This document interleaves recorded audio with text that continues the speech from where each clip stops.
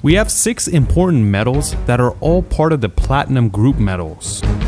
Platinum, palladium, rhodium, ruthenium, and iridium, osmium.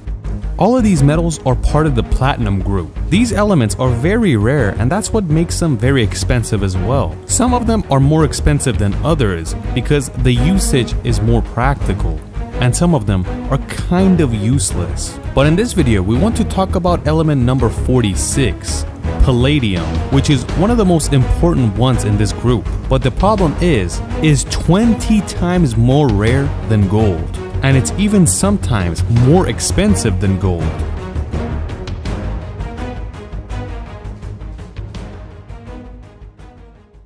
You might ask if this element is 20 times more rare than gold why is it sometimes more expensive?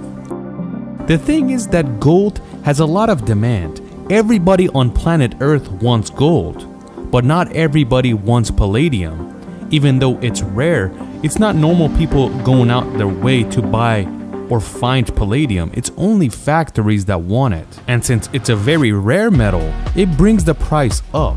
So at the end of the day, it's the demand that raises the price for these precious metals. Just like its family members, palladium is a silver metal. It is extremely anti-corrosive, so it won't rust. It's very easy to work with, and you could shape it into different ways you want. And in many ways, it's actually better than its bigger brother, platinum. You might be familiar with white gold. To make white gold, you need to mix different metals with gold to make this precious man-made metal. You can use silver, platinum, and even palladium to make white gold. Another fact about gold that you should know is that it has to be mixed with different elements to make it stronger. You can't just use pure or 24 karat gold to make jewelry because it's too soft. So you have to mix it.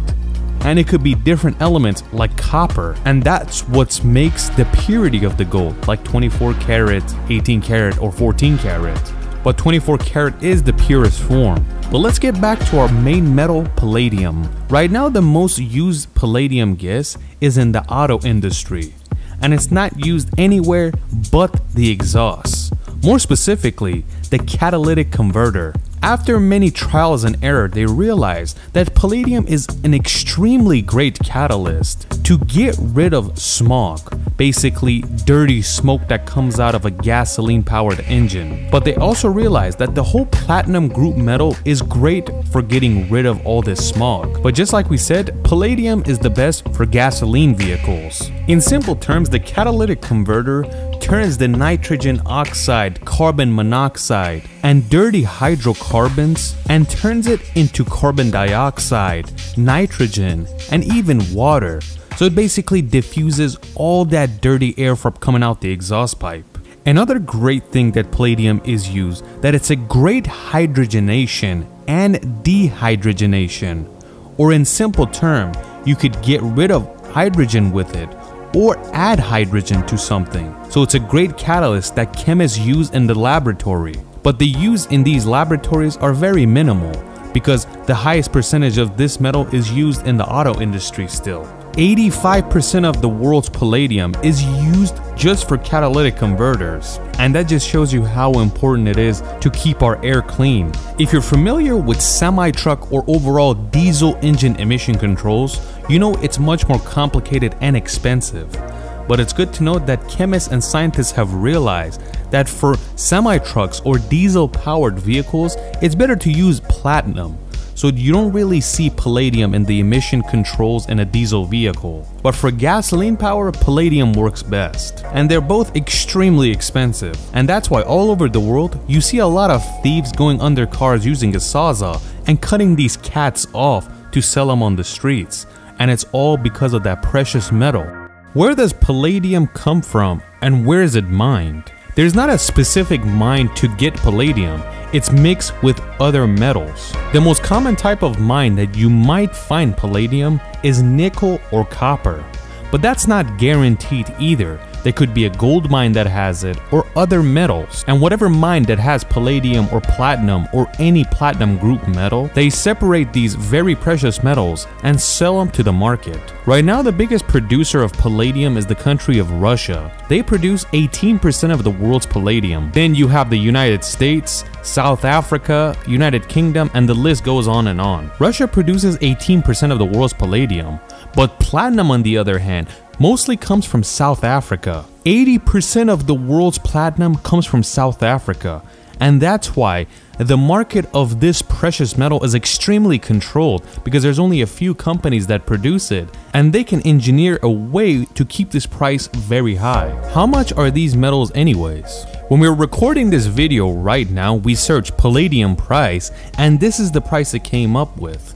$977 per ounce, but it's always going up and down. Platinum is not much different, $943 per ounce. But just like we said, the prices of these precious metals go up and down just like the stock market. Like for example, if you go about 2 years back in the March of 2022, palladium was extremely expensive, over $2,900 per ounce. And the reason it went that high is because of Corona, and the car market needed a whole lot of this metal, and that raised the price. But as you can see, it slowly went down and down because many car manufacturers moved to using platinum. But now that it's the same price, car manufacturers are back using it for their catalytic converters again. So it's always demand that brings it up and down.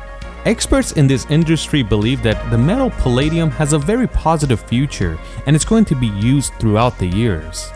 Even though electric vehicles are the new thing, but many manufacturers aren't taken as serious. Like for example, the company Toyota, which is one of the biggest manufacturers in the world of automobiles, they don't take electric cars that serious. But they do take hybrid vehicles extremely serious. Hybrid still has a battery, but it does have an internal combustion engine as well, and that means they need catalytic converters made with mainly palladium. So palladium has a very strong future just because of the hybrid vehicle in the future. Electric vehicles are set to make about 10% of the world's market, and a lot of people believe that more than 50% of the cars on the road in the near future are going to be hybrid vehicles. Because electric cars aren't as advanced as we think yet, they're not as stable, so hybrid is the answer for now. If you remember a few years ago, Toyota invested a whole lot of money in hydrogen vehicles and they released the Toyota Mirai but it was a huge failure because hydrogen vehicles, just like electric vehicles, aren't as advanced as they intended to be. So that's why Toyota is taking it up a notch into hybrid technology. Just like we said, the biggest producer of palladium is Russia, but it seems like it's slowly losing this. And that's all because of the sanctions put on Russia. The United States is spending a whole lot of money to produce more of this because it's making a whole lot of money. So maybe it's gonna replace Russia very soon.